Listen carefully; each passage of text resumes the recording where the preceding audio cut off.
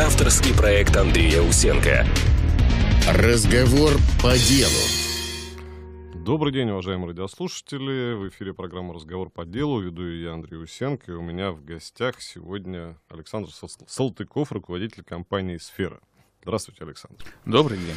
А, давайте уточним э, направление деятельности. Как сами для себя формулируете? Вот я бы сразу сказал, там, реклама, но я знаю, что где-то что-то глубже и шире. Э, что сейчас, э, чем сейчас занимается компания «Сфера»?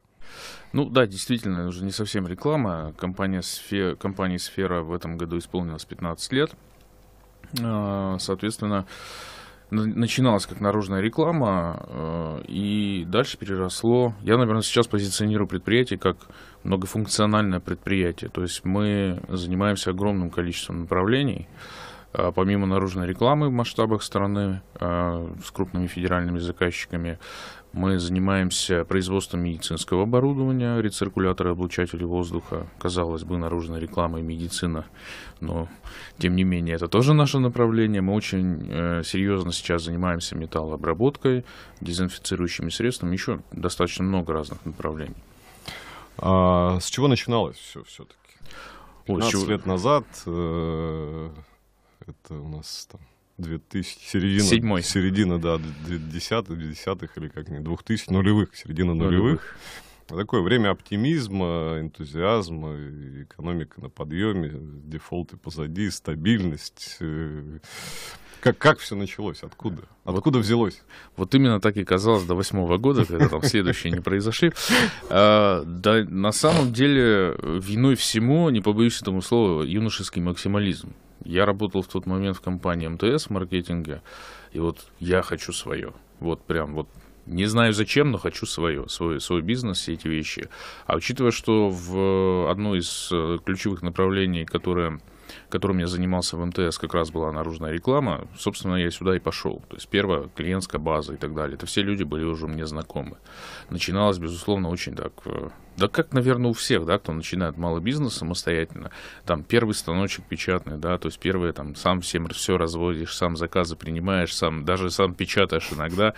Э, вот так оно все и начиналось. Дальше мы начали расти потихоньку, постепенно. Так, так, так все и происходило. А, благодаря или вопреки? Люблю задавать вопросы тут бизнесменам, потому что та самая история о том, что не надо помогать нам, не мешайте. А вот вообще за 15 лет ощущения, благодаря или вопреки? Ну, всегда вопреки. Всегда вопреки. Всегда вопреки, стопроцентно. Я вообще считаю, что все в этой жизни приходит через боль. Ну, как в спорте, да, то есть вы, там, не знаю, два месяца сидели дома, ничего не делали, пошли в спортзал, уже будет все болеть. Здесь то же самое. То есть все, все, чего ты достигаешь, всегда через боль, переживания, моральные какие-то вещи, материальные вещи, да, там время и так далее. Э, всегда вопреки. Вот. Мало того, у нас даже получается парадоксальная ситуация. Кризисы для нас э, лучшее время, казалось бы, парадоксом. Но, тем не менее, это так. И когда все немножечко там как-то так затихают, пытаются там переждать все это дело, у нас вот самое наше время. Поэтому у нас, у нас всегда вопреки всегда идет все, все напротив. В этом, наверное, кстати, и секрет успеха. Как, как, как компании. Как компании, безусловно. Как компании. А, как приходили к вот этой диверсификации? Я понимаю, что рециркуляторы — это, ну, собственно говоря, ответ на запрос, да, условно говоря, там, который возник на рынке, но кроме этого вы, вы сами перечислили еще целый ряд направлений. А вот как это происходит? А, как руководитель компании, там, работающий, уже вроде налаженные процессы, все. А, как он приходит к тому, чтобы вот, ну, давай попробуем еще что-то? Мне интересно вот это внутреннее, да, вот внутри, как это происходит у человека? Э, объясню. Значит, э, наверное, главная причина в том, что мне всегда всего чего-то мало. То есть мне всегда становится, наверное, даже не так, мне всегда скучно. То есть вот как только я чего-то достиг, я не знаю, кто-то там э, говорит, что это там знак зодиака водолей, да, им всегда нужно что-то новое. Я не очень верю в гороскопы, но, э, но, но тем не менее, у меня всегда так. То есть мне, мы, мы чего-то сделали, мы чего-то достигли, это пройденный этап для меня скучно, мне нужно что-то новое. Я очень много изучаю, э, трачу времени на то, что анализирую, что происходит вокруг, в макроэкономике, в стране, э, с коллегами, с конкурентами общаюсь и так далее, и так далее. Это все наводит на какие-то мысли. И пробуем, пробуем, пробуем. Безусловно, надо понимать, что там из 100 проектов, там, если 1, 2, 3, 5, может быть, стрельнули, тогда да, получилось. Это не идеальная всегда история. Но, наверное, главный внутренний движущий фактор это как раз то, что мне лично становится скучно. Вот. Всем остальным нет, мне да. Хорошая фраза, я тоже иногда ее произношу. Я, правда, сам ее трансформировал. А? Когда начальник говорит, что у него появилась замечательная идея, это значит, что у его сотрудников появилось много э, нудной работы. Абсолютно. А... У, меня так, у меня эта фраза всегда после отпуска, и обычно там генерация происходит. Я приезжаю из отпуска, первая планерка, я говорю, ребята, у меня есть идея. Все такие, да ну не. Ну. А, поделюсь, я недавно у себя в коллективе столкнулся с тем, что, собственно говоря, там, пытаясь поставить очередную задачу, услышал в ответ, что ну, вот чуть полегче, сейчас мы вот с этим разберемся, станет чуть полегче, и мы займемся. И я сказал, если вам станет чуть полегче, значит, я плохо работаю. Я, для меня, честно, немножечко странный вопрос. Э, ну, то есть у меня, я таких вопросов не слышал, честно, да. Э, у нас достаточно, у меня очень хорошая команда, она достаточно давно сформирована, практически у меня нет текущих кадров, среди топов точно нет.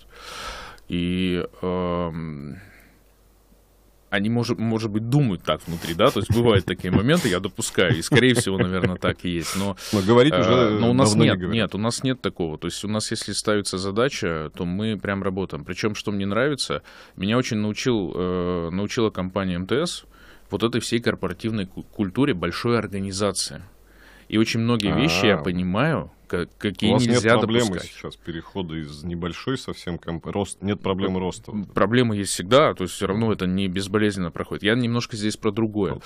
А, я про то, что в больших корпорациях существует проблема вот как раз вот этих внутренних вещей. А, бывают там войны между отделами, бывают угу. какие-то недопонимания, какие-то вот конфронтации. Очень много времени на это уходит.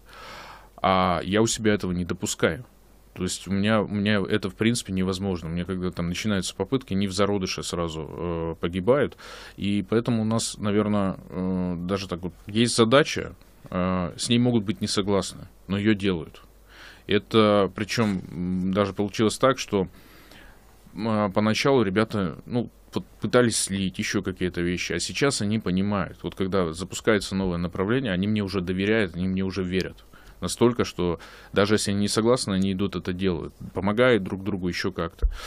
Э, Все не идеально, безусловно, да, но тем не менее э, вопросы о том, что сейчас погоди, мы с этим тут немножко разгребемся и пойдем дальше делать, нет, такого нет. У нас... Ну что ж, возьму на вооружение, надо и мне с этим разобраться. Смотрите, упомянули коллектив. А, последний год, наверное, с небольшим перерывом весной, вопросы кадров я там слышу от всех абсолютно предпринимателей, с которыми так или иначе там общаюсь. А, я перестал практически слышать, ну, например, вопросы там проверок. Угу. Остается в повестке вопрос там, ну, кредитования, там, да, ну, вообще доступа ну, к да. финансам. Но кадровый вопрос звучит в каждом первом а, разговоре. Вы сказали, что нет текучки, но все равно расширение видов деятельности, да, там расширение направлений подразумевает набор персонала. И в любом случае вы как руководитель сталкиваетесь с ситуацией, там, ну, понимаете ее фактуру да, в, в текущем моменте. Вот что, что скажете про эту ситуацию с учетом того, что вы сказали, что общаетесь с конкурентами, с коллегами, изучаете моменты. Потому что я поясню, почему так долго задаю вопрос. Мы понимаем, что это не, ну, как бы не ситуативная а, история. Mm-hmm. Мы столкнулись с демографической а, как бы картинкой, да, там про просевшей, и с тем, что приходящий на рынок труда молодежь она очень, очень непростая. Очень непростая, согласен. И как с ней работать, это вот вопрос. Вот что по этому поводу, как руководитель, как собственник, который, ну, собственно говоря, понимает, что потенциально, ну, как бы кадры — это ключевой, наверное, там, да, ресурс. Вот что думаете по этому поводу? А, мы, безусловно, у нас была очень... Эта проблема у нас началась году, наверное, там в 17-18, прямо очень остро мы ее ощутили. И я, наверное, попробую рассказать свое решение. Э, у нас сейчас проблемы кадровые исключительно локальные. Ну, то есть вот прямо здесь и сейчас, когда надо очень быстро закрыть вакансию, может пройти какой-то там 2-3-5 дней, да, небольшой период. Но глобальной проблемы у нас нет, как бы ни парадоксально звучало. За счет чего мы это сделали? Значит, первое, у меня в составе есть э, очень хороший кадровик, это, ну, это в любом случае. Если вы э, берете себе сотрудника, занимаетесь наймом, вам все равно нужно работать э, с кадровиком. В штате, не в штате, это уже другой вопрос, неважно, там, в зависимости от размера предприятия. Но кадровик обязан быть, он позволяет э, сделать вот этот самый главный первый фильтр людей. И вы не потратите время на людей бесполезно. Вы не представляете, сколько это проблем снимает. 50% проблем минимум это снимает. Вторая история. Мы, э, у меня же ситуация еще сложнее, знаете, чем? Тем, что моим специальностям, например, производственным, не учат, не учат вообще. Нигде. От слова совсем. Ну, то есть, там, если, если еще там на лазерный станок по металлу я могу найти человека, да, с образованием, то в ситуации там на широкоформатный принтер там и так далее я не могу найти, их просто не учат в стране. А, как мы решали эту проблему? Первое, у меня э, штат вот э, ключевой высококвалифицированных специалистов, он у меня достаточно давно, он так вот годами выращивается. И мы, э, мы учим сами. Мало того, что мы, э, мы не просто учим сами, а здесь есть такая ключевая штука, мы разбиваем на мелкие операции. Вот, э, приведу простой пример. Для того, чтобы сделать э, объемную букву, да, все представляют, что такое объемная буква, нужно там, не знаю, порядка там, 15 разных операций. Да, там, вкручивание саморезов, установка светодиодов, там, борты и так далее, и так далее, и так далее. То есть в целом изделие – это сложное изделие. То есть оно требует квалификации, опыта и так далее, и так далее. Мы все операции разбиваем на мелкие.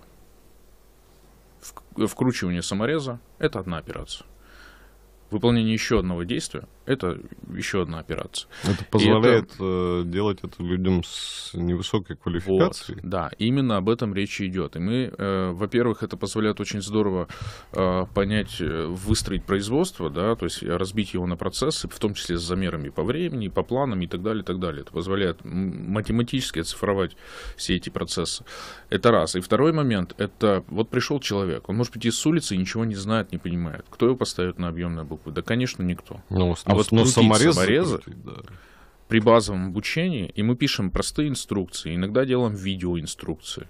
То есть видео, текстовое еще и, и так далее. И это позволяет нанимать людей, э, нанимать людей менее квалифицированных, их проще найти. И таким образом вот постепенно так учить. Вот он научился крутить саморезы, я не утрирую сейчас. Я Сдал экзамен, может учить следующее. Ну вот смотрите, здесь даже, наверное, не про ваше предприятие, а uh-huh. про ну, мировоззрение, да, там знаю, что интересуетесь тоже, да, uh-huh. смотрите. Uh-huh. Вот я в свое время там задумался, будучи часто в Москве, и как многие, да, а я в свое время обратил внимание, что половина, наверное, там, ну, зачастую половина людей на э, улицах Москвы это курьеры и таксисты. Uh-huh. Ну, утрирую, как бы, но... Uh-huh. А мы ведь что думали? Мы думали, что когда искусственный интеллект разовьется, вот как бы он будет заниматься всеми низкоквалифицированными а, операциями, а человек станет творцом, он станет заниматься какими-то прям высокоинтеллектуальными, художественными, там, не знаю, еще вещами. На, на данный момент идет абсолютно обратный процесс. Абсолютно согласен. А, собственно говоря, там технологии замещают сложные интеллектуальные процессы, а человек в значительной степени, в большом количестве, ну, наоборот, так принудительно деградирует до простейших операций. Да? А, вот это что? Это, собственно говоря, направление навсегда надолго? То есть какое-то произойдет разделение вот так вот? Или, или у этого с точки зрения ну, технологий есть э, где-то точка, в которой это изменится? Вот здесь, ну, футуристично немножко, но мне вот действительно интересно. Вот Куда пойдем-то мы? Э, вот я попробую сейчас э, сразу ответ. Э, куда мы пойдем, я точно не знаю. Я, наверное, попробую описать, что сейчас происходит со своей точки зрения. Угу. Приведу пример на автомобилях. очень такой, на мой взгляд, шикарный пример. Все, все идет от экономики. То есть мы жили в век, когда у нас было потребление очень высокое, причем сверхвысоким. Э, у нас был Советский Союз, да, э, значит, там мы растили квалифицированные кадры, делали какие-то вещи. Вот у нас там действительно была э, ну, очень серьезная научная школа, образовательная школа, система трудоустройства, что немаловажно. И, э, но потребление в стране было низким. После uh-huh. того, после 90-х годов, да, у нас потребление стало высоким, и вся мировая экономика, она, в принципе, заточена на то, чтобы производить все больше, больше, больше, больше. Э, для производства всего больше, больше, больше, безусловно, требуется автоматизация. Роботы, какие-то процессы, конвейеры и так далее, и так далее, и так далее. Эта история, на мой взгляд, закончилась. Потребление сейчас будет сильно ниже. Оно будет падать. Причем падать будет в разы. Uh-huh. На примере автомобилей, да, то есть автомобили будут производить все меньше и меньше, но ценники на них будут сильно выше. Что мы сейчас, собственно, видим. В этой системе, скажите, нужен, нужен, условно, нужны ли роботы, чтобы производить такое количество? Нет. Соответственно, в них никто не будет инвестировать. Я, безусловно, может быть, утрирую как-то немножко здесь ситуацию. Но просто мы же для, и говорим просто для понимания. Да, да, да. Вот. Э, все зависит от потребления. То есть, если у нас нет э, высокого потребления, э, да, то есть конечным покупателям, в этой истории не нужны эти высокотехнологичные вещи. Это не говорит о том, что наука не будет развиваться и так далее. Но с точки зрения высокотехнологичных вещей для скорости производства в этом не будет задач. А что будет дальше? Сейчас в данный момент непонятно абсолютно. То есть какая будет модель потребления, угу. какая будет экономика и так далее. Это, это в данный момент непонятно от слова совсем. Причем нигде, ни у нас, ни в мире. Ситуация да, сейчас мы, везде мы такая. Там, жили в парадигме там э, зеленого экологичного ответственного потребления, да, и снова сейчас там распаковываем угольные радиостанции, электростанции. Да и все, все, все. На мой взгляд, у нас сейчас э, должна мы будем мы в какой-то степени, прошу меня понять правильно, возвращаемся в Советский Союз с точки зрения потребления, с точки зрения, опять же, необходимости. Я сейчас про производство все тоже говорю, да, да, да? то есть вот про э, с точки зрения необходимости кадров и так далее, запрос на высококвалифицированные кадры будет расти, и систему образования нужно не просто менять, ее надо менять вчера, ее надо срочно, вот все бросать как и заниматься. Вот мы, мы в палате эти этим вопросом, ну, вот практически там год занимаемся очень плотно. Мы видим эту проблему, связанную с тем, что э, там, на, на запрос работодателя, да, система отвечает ну, несоответствующим продуктам, назовем это так. Как, как организовать это? Как, вот, есть какое-то видение? Я э, считаю, что здесь, в этой истории, э, наверное, вот особенно тяжело будет большим предприятиям, да, то есть когда огромное количество людей и так далее. Их нужно, их нужно самостоятельно разрабатывать программы образовательные, самостоятельно учить людей. Самостоятельно. Это могут быть курсы и так далее. То есть, если мы говорим о конкретной специальности, не знаю, там, оператор станка какого-то, в этой истории нет задачи э, учиться 5 лет. Даже три года, если честно, нет задачи. У меня обучение базовое проходит там, в течение месяца, ну, по, по серьезным станкам, машинам, да. Э, некоторые операции там полдня происходят. Ну, а нужна тогда вообще система? Система образования в стране нужна в целом и общем. Я сейчас говорю про локальное решение каждого конкретного предприятия, потому что это будет все равно необходимостью, чтобы закрыть здесь и сейчас. Я понимаю, а чему тогда учить? А государство... Смотрите, чему mm-hmm. учить? Ну, школа, понятно, да, это какой-то там, как, как и положено, средний уровень образования, чтобы ты ну, самосуществование мог там, э, реализовать. А дальше как вот это среднее профессиональное, высшее, пять, пять лет в вузах. Это ведь тоже сейчас вопрос. Ты начинаешь учиться тому, что к окончанию срока твоего обучения уже, ну, мягко говоря, не актуально. Там, да, и, и, и в отношении специальности, в отношении знаний, в отношении всего. Как системе образования в, вот, в, в потребности экономики-то вписаться? Все очень просто. Нужно подключать реально, неформально, подчеркиваю это слово, нужно подключать э, реальных производителей, сообщества производителей, ассоциации и так далее. То есть, понимаете, э, там, я не знаю, в Минпромторге есть определенное видение. У крупных заводов, у, там, ну, даже у мелких заводов и так далее. У них есть свое видение, свое понимание, угу. э, что будет дальше, да. да. Если не будет здесь этого симбиоза, если не будет здесь этого общения реального, настоящего, неформального, подчеркиваю это, это слово, э, с пониманием потребностей э, предприятий и готовностью идти им навстречу. Ну, именно про это я и говорю, про реальное да, общение. Потому что да. ведь в системе тоже, ну, она, собственно говоря, функционирует, выдает продукт, и дальнейшая судьба продукта далеко не всегда является предметом озабоченности. Безусловно, а, да. Как, как любая замкнутая система, она там самовоспроизводится, собственно говоря, там и пытается себя а, ну, сберечь, что называется. Да? А, что в рекламе сейчас все-таки происходит с точки зрения рынка, спроса? Вернемся вот к этому uh-huh, базовому uh-huh. направлению вашей деятельности. Да? Что там сейчас? С одной стороны, там а, там, страна закрывается там, да, в силу объективных обстоятельств, уходят крупные заказчики интернациональные. Там, да. С другой стороны, а, как говорят там многие мои знакомые, там из страны некуда уже как бы уходить деньгам, и они остаются здесь, теперь их надо куда-то э, вкладывать. Что вот, что вот здесь, что с рекламным рынком?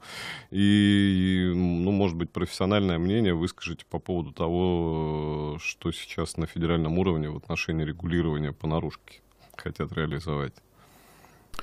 А, да, я понял вопрос. Ну, э, смотрите, значит, э, здесь опять же нужно разделять э, немножко местные рынки, да, и рынки федеральные. Это сильно разные вещи. Наружная реклама раньше была там, немножко более многогранная и более объемный рынок. Почему? Потому что вопрос даже не в, там, в регулировании государством или вопрос там, в каких-то э, санкциях, в кризисе и так далее. Дело в том, что интернет, безусловно, очень сильно подвинул наружную рекламу. Сейчас парадоксальная ситуация немножечко обратно откатывается, да, то есть, да, есть такое. Почему? Потому что мы же понимаем, что там некоторые э, соцсети закрывают, некоторые вещи есть, а это были очень мощные площадки для сверхмалого бизнеса uh-huh. и для самозанятых в первую очередь э, для продвижения себя, потому что это фактически был для них единственный доступный канал. Наружная реклама в каких-то моментах была более дорогой. Мало того, мы все привыкли еще и в пандемию с, э, сидеть дома и так далее. Зачем мне наружная реклама? Вот там был действительно провал. Я даже видел по, по федералам у меня падение было 37% по, по, вот, по рынку наружной рекламы. Это сильно, на самом ну, деле. Это... Вот, 20 э, год это вот так и, так и было. Э, что касается федералов, мы сейчас говорим про изготовление наружной рекламы. Э, не про носители. Мы... Да, не про носители, а именно про производство. Вот, оформление, вывески, всевозможные баннеры, таблички и так далее. Я не знаю, честно говоря, здесь даже там немножко инертная более ситуация, да, то есть если есть планы, особенно по тем э, федеральным компаниям, которые местные, э, российские я имею в виду, да, то есть не, не кировские, а российские, у них как было все по плану, так и идет по плану. То есть, там, не знаю, есть у, у Почты России, да, там планы переоформления офисов на этот год. Ну, вот мы сейчас 31 регион делаем. Ничего здесь не меняется. Надо понимать, что вот известно, если мы говорим с точки зрения обывателя, да, то есть известные бренды ушли какие-то, да, там и так далее. Надо понимать, что это рынок очень маленький для наружной рекламы. Почему? Потому что, ну вот вы оформили там 5, 10, 50 торговых центров, грубо говоря, с этим, с этим брендом так они уже были оформлены. Угу. То, что у них там есть, это ну, акции, замена, еще какие-то вещи, это, это на самом деле очень малая часть. Она ну, не несет какой-то э, серьезной нагрузки. Поэтому я не знаю, рынок... Мало того, кстати, мы получили обратный отскок э, с точки зрения того, что когда позакрывали сети, да, то есть народ, ну как-то же надо рекламироваться, да, то есть, соответственно, народ начинает, э, клиенты начинают за, заказывать больше уходить в наружную рекламу. Угу. Вот кто-то не дружит э, там с ВКонтакте, да, кто-то с Телеграмом подружиться не может. Телевидение, э, кстати, очень многие вообще сейчас не воспринимают, очень зря, но, но тем не менее. Вот, поэтому наружная реклама, вот такой есть локальный всплеск, э, потому что оно немножко есть. Хорошо, а что с... Ну, чуть попозже про угу. вот эту федеральную там новацию угу. наружки, а что с материалами? Ну, вы, вы производитель средств наружной uh-huh. рекламы, то есть вы не, не, не агентство, которое там на билбордах да, вешает э, да, да. там эти плакаты, вы производите. А, я знаю, что достаточно большой объем ну, вот, собственно говоря, материалов и комплектующих, они импортные были. С ними что там, все Китай или, или удалось заместить все Китаем? Или... Ну, на самом деле здесь ситуация тоже не настолько плачевная, как кажется. А, почему? Да, да нет, нормально здесь ситуация. Дело вот в чем. Дело в том, что европейских материалов с годами становилось все меньше, меньше, меньше, меньше. Американских вообще никогда не было. Вот. Дорого? А, или их нет, в принципе? Дорого, дорого. очень дорого, да. Вот. Э, по Европе есть пара позиций, но они абсолютно не критичны. Абсолютно не критичны.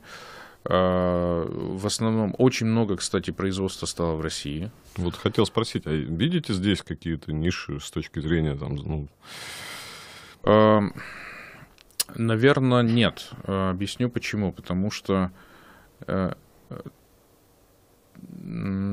не вижу себя, я не вижу здесь рынок, скажем так для себя. Может быть, это мне просто не очень интересно самому лично, да, потому что взять, выстроить, там, ну, взять, поставить одну линию, да, ну, мне скучно это. Потому что у нас работа вообще, наша, вся наша работа, она проектная, как правило. И даже если у нас идет там 10 тысяч циркуляторов один заказ, мы выстраиваем мини-конвейер, то есть мини-завод, uh-huh, да, у нас получается uh-huh. внутри завода. Но, э, тем не менее, это проект вот эта работа нам интересна, мы в ней очень сильны, очень круты. Угу. А выстраивать э, предприятие, которое выпускает один и тот же вид продукции, там, постоянно, системы и так далее, годами и десятилетиями, я, во-первых, не очень люблю это, да, лично. Вот. Во-вторых, как показывает жизнь, э, вообще ничего не вечно. Ну, то есть взять и выстроить, там, инвестировать огромные деньги в какой-то завод, который у тебя будет делать, а послезавтра что-то, ну, то есть глобально все изменится. Ну, это на самом деле не самый маленький риск. Поэтому... Я по этому поводу, ну, постараюсь быть оптимистом и всегда вспоминаю Салтыкова-Щедрина, uh нашего известного там некоторое время земляка, мне кажется, он даже в период своей там ссылки это сказал. Хорошая есть фраза, она говорит э, дословно. Э, власть российская должна содержать народ свой в состоянии постоянного изумления. Поэтому вот иногда думаешь уже нечем, нечем, но нет, находится. Да. Александр, коротко, перед небольшим будет у нас перерыв на рекламу через несколько минут буквально. А, монополизация рынка наружной рекламы, законопроект, который несен в Госдуму в интересах uh-huh. там явно одного из э, крупнейших операторов. Э, сначала одним словом хорошо или плохо, а потом почему? Мы сейчас говорим про то, что будет некий оператор, который контролирует цифровой экран. Мы ну, про это говорим сейчас. Да, да, да. А мне кажется, что здесь вопрос даже... Ну, монополизация была, есть и будет во всех отраслях. Стремление к монополизации. Стремление, безусловно, да. То есть даже если где-то бывает оно формальным, где-то бывает там фактическим, где-то бывает там формально разделено, а фактически это одно. Это во всех отраслях. Не надо думать, что наружная реклама будет, здесь будет исключением. Я, честно говоря, здесь немножко другое за этим вижу. Мне, честно, не, не очень интересно, да, э, с точки зрения, э, что там у кого-то в одних руках окажется, там еще как-то и так далее. Да, не вижу я в этом проблемы. А, и даже могу объяснить потом, там, но это уже более такой mm-hmm. широкий ответ, почему. Я вижу здесь немножко другую историю. А, другая история заключается в том, что государство ставит под контроль а, информацию, которая доносится. Хорошо это или плохо? Я считаю, что хорошо. Это оставался один из немногих каналов, который еще, ну, условно да, не, да, не да. был таким образом да. отрегулирован. Именно так. Я объясню, почему хорошо, потому что государство должно заниматься информацией, оно должно транслировать свою позицию. Если у него есть бесконтрольные э, источники информации, мы сейчас можем сколько угодно говорить там про свободу слова, все вот эти вещи и так далее. Да, вот да, это, это да. все вот э, нет лукавого, да, но, но, наверное, как-то вот близко к этому. Еще раз говорю, есть позиция государства. Она должна транслироваться, она должна доноситься до э, людей всеми возможными способами. Не должно быть неподконтрольных э, вещей государства. Это не Советский Союз, это не утрирование, да, там, каких-то вещей. Э, это должно быть. Слушайте, ну, на самом деле, я достаточно давно с этим столкнулся. Старшее поколение, там, вспоминает СССР, Uh-huh. А, там, новое поколение э, зачастую упоминает развитые европейские да, страны. Да. Но мы с вами прекрасно знаем и понимаем, находясь где-то вот посередине, да, да, застав да, да, да. и то, и то, мы понимаем, что и там, и там идеология была достаточно очень сильным инструментом деятельности и влияния государства. И там, и там. И это продолжает сохраняться сейчас. Совершенно мы это видим, верно. потому что я, например, там, ну, по Европе сейчас вот лично считаю, что они прям такой вот махровый СССР с точки зрения Да, да, да. э, деятельности в инфополе реализуют. Причем зачастую даже прям сильно, э, сильно больше, чем СССР. Сильно да. больше. Да. А, Прервемся на небольшую рекламу. Это программа «Разговор по делу». Через несколько минут вернемся, вернемся к тому интересному разговору, который ведем с э, Александром Салтыковым. Авторский проект Андрея Усенко. Разговор по делу. Возвращаемся в эфир. Программа «Разговор по делу». Веду я, Андрей Усенко. У меня мой гость сегодня Александр Салтыков, руководитель компании «Сфера». А, Поговорили про мировые масштабы, тренды, тенденции и все остальное. Вернемся в- к нам сюда, в Киров. А, У меня в гостях достаточно часто бывают люди, которые занимаются в Кирове производством. Вот прям производством, причем в- во многих случаях мы даже не знаем о том, что производится. Вы сейчас, вы сейчас сказали про там, десятки тысяч э, рециркуляторов, которые там производятся. Да? И это здесь у нас в Кирове, и мало кто знает об этом, о том, что у нас есть такие производства. Вообще, как в Кирове? Вот э, меня всегда удивляет, когда бытует мнение, что ну вот у нас-то плохо, вот везде хорошо, везде хорошо, а у нас плохо. Я благодаря своей работе знаю, как ситуация в других регионах обстоит, и понимаю, что ну, ну, далеко не всегда это так. В чем-то, да, в чем-то есть у нас проблемы, но в других регионах своих проблем хватает. Вот вообще вам каково вести бизнес в регионе? а, ну, собственно говоря, каково Мгм, вести бизнес в регионе? А, Мне, э, ну я патриот, начнем с этого. А, Абсолютно искренне, да, там, причем я являюсь одним из э, крупных налогоплательщиков Слободского района, я реально этим горжусь. Ну вот, мной это движет. Я не собираюсь отсюда уезжать, я горжусь тем, что я везу сюда налоги, в том числе и в Киров, и в область. Вот. У нас, э, вы очень правильно сказали, у нас э, одна из самых главных проблем, мы очень себя недооцениваем. Очень. Я очень много езжу по стране, я очень много езжу по миру, э, смотрю всевозможные производства, напрашиваюсь ко всем там, конкурентам, еще к кому-то. И слушайте, у нас здорово. У нас, э, причем здорово не, не, не просто на уровне там, выпускаемой э, продукции, это ведь еще полдела. У нас ведь есть еще и внутренние вещи, да, как мы организовали процесс работы, внутреннюю логистику, какие-то вот нам сама бизнес-модель и так далее. У нас очень, э, очень хорошее в Кировской области есть предприятие, очень классное. Мы, главная наша проблема, мы себя недооцениваем. Даже я вот, ну, вроде как, я, у, меня, у меня все нормально с самооценкой, даже можно было бы где-то чуть пониже, вот, но э, я такой, ну, блин, мы маленькие, мы тут еще что-то. Я приезжаю на огромный завод, там, крупнейший производитель там по, по изделию из нержавейки по стране, и я понимаю, что у меня лучше организованный процесс, еще что-то и так далее. То есть вот э, это действительно мы очень себя недооцениваем. А у нас очень много классных, крутых предприятий, очень много. Э, причем они, э, у, у нас даже, знаете, кстати, у нас в культуре э, до сих пор, это же вообще провинциальная история, да, там немножечко закрыться, не рассказывать и так далее. Вот, вот, вот это, это большая болезнь, с которой мы боремся. Я лично вообще борюсь. Да? Я в отдел маркетинга полноценно создал в начале этого года с одной единственной целью, чтобы о нас хотя бы узнали. Слушайте, А я Да. на прошлой неделе буквально выступал на одном из мероприятий, сказал, предприниматели очень многое умеют делать хорошо. Очень многое.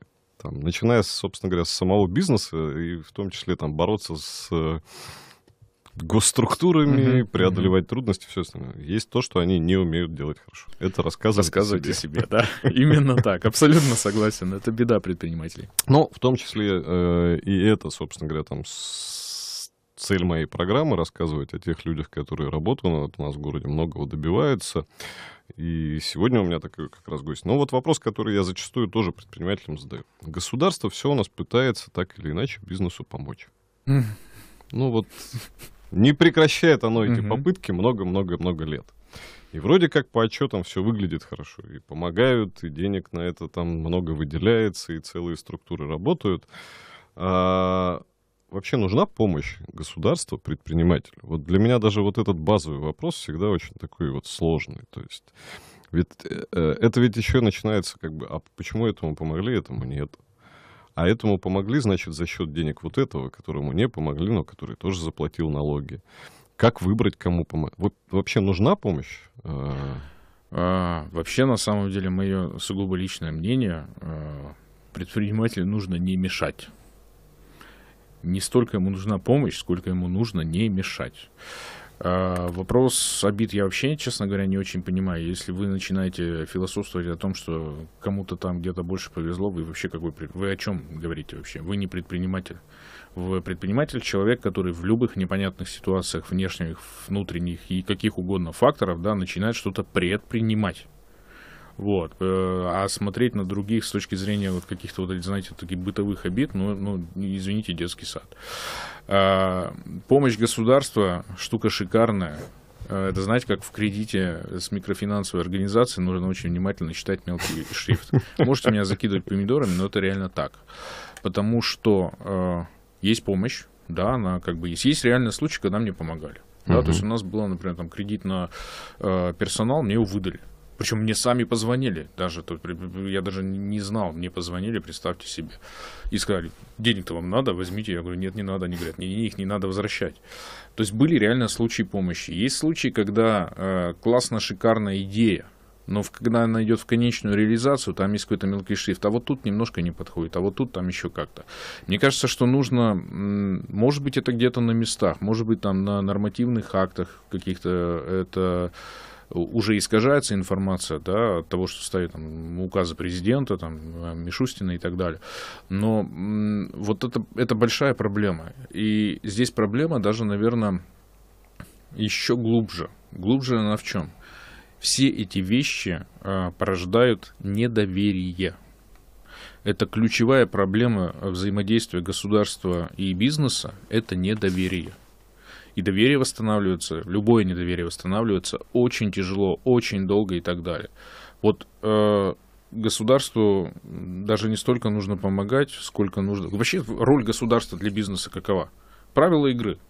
Государство задает правила игры. Стабильно Вы... и безопасно. Стабильно и безопасно. Мы должны понимать условно, да, что там в течение пяти лет, там, не знаю, налоги будут такие-то, сборы будут такие-то, это будет так-то. Причем, Всё, если, причем, если об этом сказали, да. то эти пять лет так и оно должен, и должно да, быть, да. иначе лучше потом не говорить об этом уже. Что Совершенно тогда верно. было неправильно, а теперь будет так, никто не поверит. Да, да, об этом и речь. А у нас, к сожалению, э, зачастую будет, бывает обратно, обратная история. То есть это не в смысле, наверное, чего-то хорошо, чего-то плохо, да, то есть это просто... Это ну, факт. констатационно, да. Это да, это констатация факта. А, поэтому я не знаю, как это доверие возвращать, наверное, я не отвечу на этот вопрос. Ну, да. вот вы упомянули вот эти зарплатные безвозвратные кредиты, которые угу. выдавались в пандемию, пандемию. Вы знаете, я очень хорошо видел, как э, предприниматели ну, брали их с недоверием, что все угу. равно где-нибудь что-то. Угу. Когда действительно все произошло так, как было обещано, вот это был момент, которым я говорил на всех там, в Москве и всем, я говорил, надо было пользоваться. Вот это был момент, когда предприниматели поверили, что да, действительно. Да, абсолютно согласен. Вот он прямо был очень показателен, что вот эти глаза удивленные, правда. Вот так вот. Мне позвонили да. и дали. Правда, это работает. Государство побеспокоилось.